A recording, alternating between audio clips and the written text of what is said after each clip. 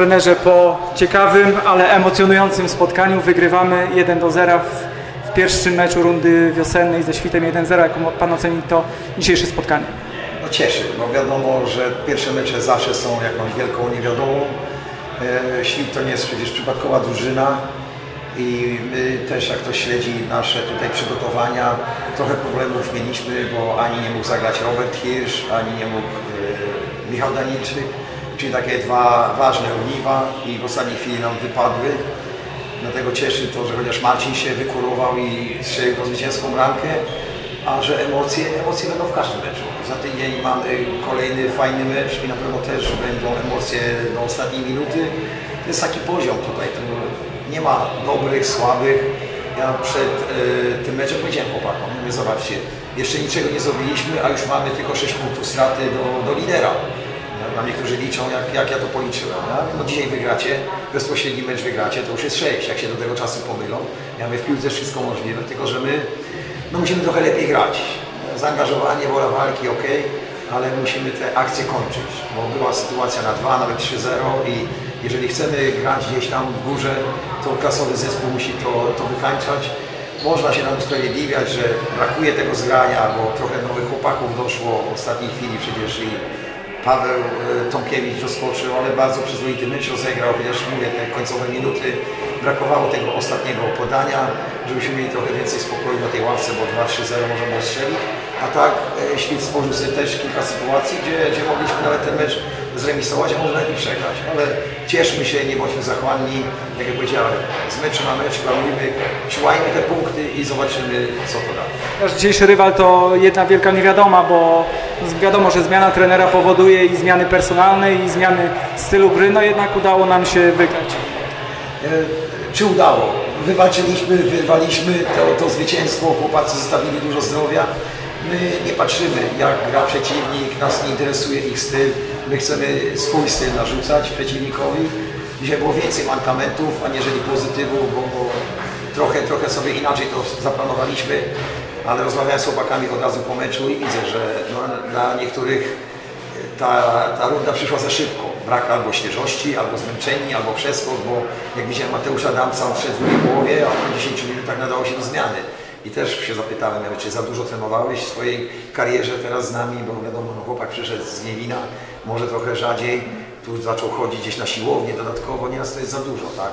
Bo Michał Danilczyk też profesjonalista, no ale tak się nam wytrenował, że kontuzję złapał sam ze sobą, czyli musimy jakoś to wszystko, myślę, że się dotrze, że to granie będzie jeszcze lepsze, jeszcze bardziej płynne, chociaż były takie fragmenty grania, że można było być zadowolonym. No z pierwszej połowy myślę, że można być zadowolonym, bo mimo strzelenia bramki to jeszcze mieliśmy ze dwie, trzy okazje, no gorzej to wyglądało trochę w drugiej połowie. Tak to będą wyglądać te mecze. My mamy drużynę, która, no nie czarujmy się, my całe życie, całe życie, jak ja tutaj jestem, to oni cały czas grają o coś, a to o coś to jest o utrzymanie, tak? Oni się nie nauczyli wyjść jak po swoje. Ja Jak powiedziałem, mamy ten sezon w ogóle inaczej grać. Żadnego ciśnienia, żadnej nerwówki. Pokażcie wszystko, co potraficie, bo ostatnie 5 lat to takie było. Zmienialiście kluby, trenerów, a to granie było takie, takie, no takie jak w drugiej połowie. Ja mówię, musi być więcej spokoju, pewności, do grania. Jeżeli chcecie robić kariery, no to nie może nikt być tutaj, ja mówię, zaskoczony postawą świtu, że w drugiej połowie nas przydusili. Byliśmy na to przygotowani, ale pierwsza akcja już mogła być 1-1, tak? Rozkojarzenie, nie wiem, czy właśnie e, to jest psychika, ale na tym polega siła piłkarza, tak? Nie, nie będę nadawał na Roberta Lewandowskiego, to już jest ta najwyższa półka, ale patrzmy co zrobił Robert, a co zrobił Ronaldo, tak? I to jest ta różnica, co robi Messi, a co robi Griezmann, tak? I to jest tak samo u nas. Jesteś dobrym piłkarzem, dlatego my nie jesteśmy w czołówce, dlatego mają do nas może niektórzy pretensje. Chcę to zmienić, powiedziałem. W Sokole Usuda będą grać tylko piłkarze, którzy potrafią wytrzymać presję, którzy się nie boją i takich paru tutaj mamy i będziemy takich szukać, że jeżeli w tym roku ja będę cały czas głośno krzyczał, że gramy o ten awans, chcielibyśmy powalczyć, ale jeżeli się nie uda, co jest bardziej prawdopodobne, to chcemy mieć trząs zespołu, że latem tu już musi być 7-8 chłopaków, którzy będą świadomi, że Sokół Osuda gra o wejście do drugiej. Dzisiaj nasza kadra liczyła 16 zawodników, tak jak Pan wspomniał, zabrakło Michała Danilczyka, Roberta Hirsza i Wojciecha Węglorza. Czy jest szansa, że na prestiżowe spotkanie derbowe któryś z nich będzie do Pana dyspozycji? Nie wiem, e, my będziemy zawsze jeździć 16. Ja tu już chłopakom zapowiedziałem. Te czasy, gdzie jeździliśmy w 18, jeszcze trzech bramkarzy i tu jak nieraz spojrzałem, ja mówię, to nie wiem, czy jedziemy na jakąś wycieczkę do Malborka zwiedzać zamek, czy na mecz. Tu mają być 16 wybrańców, którzy przez cały tydzień pokażą, że zasługują na wejście do tej szatni. Dlatego mamy jeszcze całą grupę fajnych chłopaków, Przecież nie zapominamy o tej naszej młodzieży, która w tamtej rundzie już coś grała, ale im powiedziałem, poprzeczka musi być troszeczkę wyżej podciągnięta, dlatego nie było z nami Dawida Pietkiewicza, którego uważam za bardzo ciekawego chłopaka, ale powiedziałem, nie może się zadawalać, że jesteś w pierwszym zespole i sobie jeździsz na wycieczki.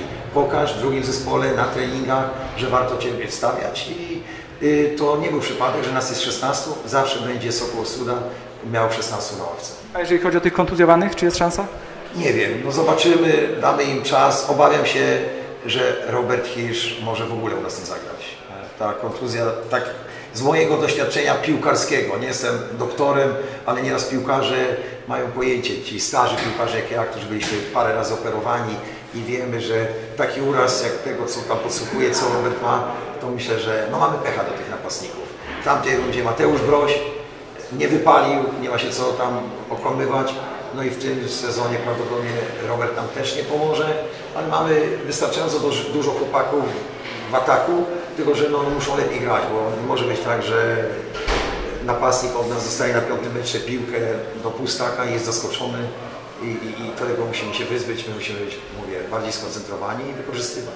To jeżeli by się sprawdziły te, te niepokojące informacje na temat zdrowia Roberta Hirsza, czy, czy jeszcze kogoś pan planuje tutaj do, do naszej kadry dokoptować? Myślę, że nie, bo jak widzicie, my nie, nie napinamy się na siłę, że my musimy wejść, my musimy wszystko wygrać. To ja tą poprzeczkę podwąszę im wysoko, bo ja tym chłopakom życzę jak najlepiej. Ja jestem ich motywatorem, ja jestem tym, który ich ciągnie za uszy, bo ja też, jak ja powiedziałem, z B-klasy do Ekstraklasy startowałem, nawet parę meczy miałem fajnych na stadionie Szalkie. Życzę im takiego meczu jak Szalkie Dortmund, derby 80 tysięcy, my mamy w sobotę derby, niektórzy już mają rozwolnienie. Ja mówię, ja miałem trochę i z Lechią Gdańsk derby na Traugutach, gdzie było jest 25 tysięcy ludzi, czyli ja wiem, jak oni się czują, ale też wiem, czego się wymaga od piłkarza. I jeżeli oni mają menażerów i menażer go tam okłamuje przez telefon, ja już mam dla Ciebie tam testy w pierwszej lidze nawet, czy w Ekstraklasie, Nieprawda. Na dzień dzisiejszy żaden nie łapie się nawet do polskiej pierwszej ligi, ale jak będziemy wspólnie pracować, trenować, wytłumaczę im, jak musi być gotowy piłkarz do ekstraklasy. Ja jestem w stanie im to wytłumaczyć, pomóc i, i, i, dlatego nie będziemy, nie będziemy tam się pompować, że będziemy kogoś ściągać, może do ekstraklasy dzwonić. Nie. Te czasy chciałbym, żeby w Ostrudzie już minęły, że przyjeżdżają w Czasowicze, na wiosnę w Ostrudzie jest pięknie, bo akurat byłem zatrudniony, wspaniałe łódki, restauracje, kolorowo, dziewczyny, można zwariować. Dlatego jak ktoś chce do Ostrudy na wczasy, to fajne hotele, ale musi zapłacić. Do Ostrudy, do drużyny piłki nożnej przyjeżdżają prawdziwi wojownicy, jak to moja córka mówi, gladiatorzy, oni takimi małymi gladiatorami są, dają siebie wszystko, maksa. To nie mogę powiedzieć, że ktoś specjalnie czegoś nie zrobi, tak? Oni biegali, ale to jest za mało i ja im to mówię wprost, żeby myśleć o graniu w Ekstraklasie. Dziękuję.